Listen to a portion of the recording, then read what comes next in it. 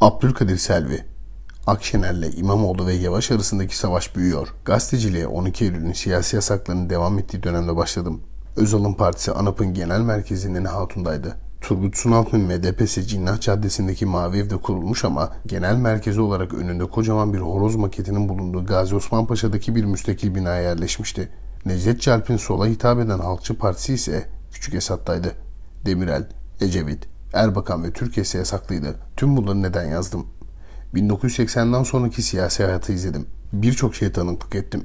Ama Meral Akşener'in Ekrem İmamoğlu ve Mansur Yavaş'ı Cumhurbaşkanı yaptırmak için gösterdiği çabaya tanık olmadım. İkinci Fatih 1. 2019 yerel seçimlerinde CHP ittifak önerisini Meral Akşener götürdü.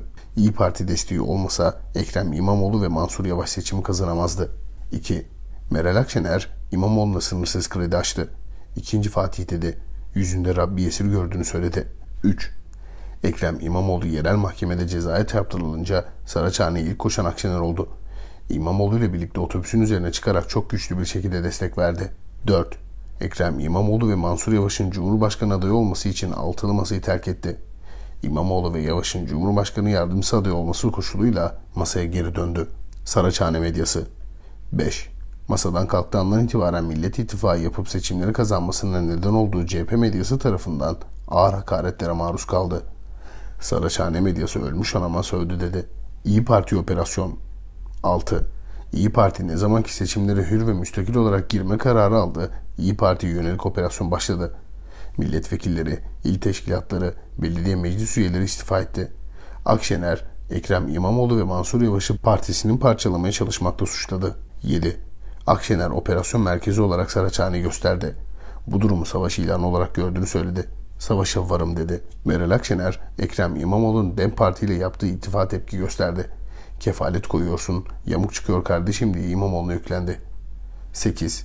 O andan itibaren Meral Akşener, Mansur Yavaş ve Ekrem İmamoğlu arasında savaş başladı.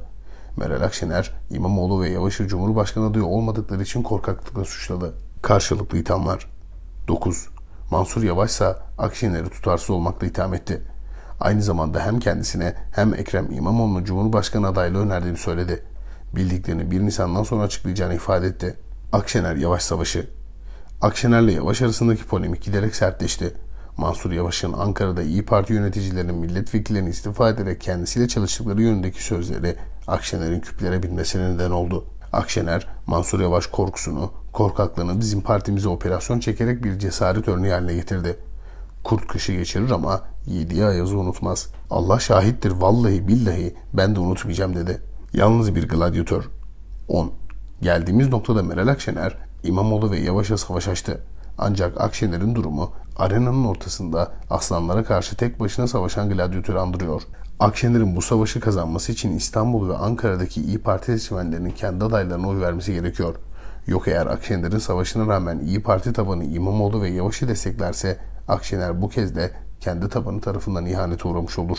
Rusya'nın 11 Eylül'ü ve DAEŞ operasyonları Amerika'nın 11 Eylül'ün altından El-Kaide çıkmıştı. Afganistan'da Rusya'ya karşı CIA'nin kurdurduğu El-Kaide sonra döndü ABD'yi vurdu.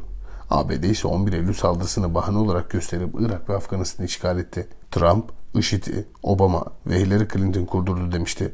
ABD IŞİD bahanesiyle Suriye'ye girdi.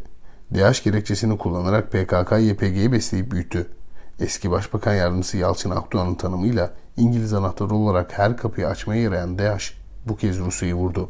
Rus istihbaratının zaafı Bu saldırıda Rusya'nın çok büyük güvenlik ve istihbarat zaafları var. Zaten onlar olmasa bu kanlı eylem gerçekleştirilemezdi. ABD'nin iki hafta önce yaptığı uyarıya rağmen saldırının önlenememesi ise Rus istihbaratının iflas etmesinden başka bir anlama gelmiyor. CIA, Mossad ortak yapımı. Dünyada hiçbir terör örgütü arkasında uluslararası istihbarat servisinin desteği olmadan böylesine devasa saldırıları gerçekleştiremez. Tetiği çeken DAEŞ olabilir ama tetiği çektiren ve her türlü istihbaratı sağlayan CIA ve Mossad olduğundan kuşkunuz olmasın. Moskova'daki saldırı tipik bir CIA-Mossad ortak yapımı gözüküyor. Burada Mossad'ın rolü üzerinde özellikle durmak istiyorum. İsrail'de iktidardaki Likud Partisi'nin yetkilisi Vietnam'ın Rusya'ya bedel ödeteceğiz çıkışından sonra bu saldırının yapılması ilginç. Türkiye'yi tehdit etmişti. Hatırlarsanız İsrail İç İstihbaratı Şimbet'in başkanı Ronen Bar Katar, Lübnan, Ronen Bar, Katar, Lübnan ve Türkiye'yi tehdit etmiş. Cumhurbaşkanı Erdoğan da böyle bir şeye tevessül etmeleri halinde Şunu bilmeleri gerekir ki bunun bedelini çok ama çok ağır öderler diye uyarmıştı. Mossad'a yanıt sahada veriliyor. MİT ve İçişleri Bakanlığı'nın operasyonlarıyla Mossad'a nefes aldırılmıyor.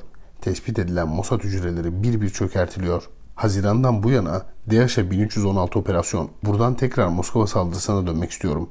Türkiye'de bir yandan Mossad'a, diğer yandan DH'a yönelik üst üste operasyonlar yapılıyor. Peki bu sizi bir yere götürüyor mu? Yapılan operasyonlarla DH hücreleri çökertiliyor.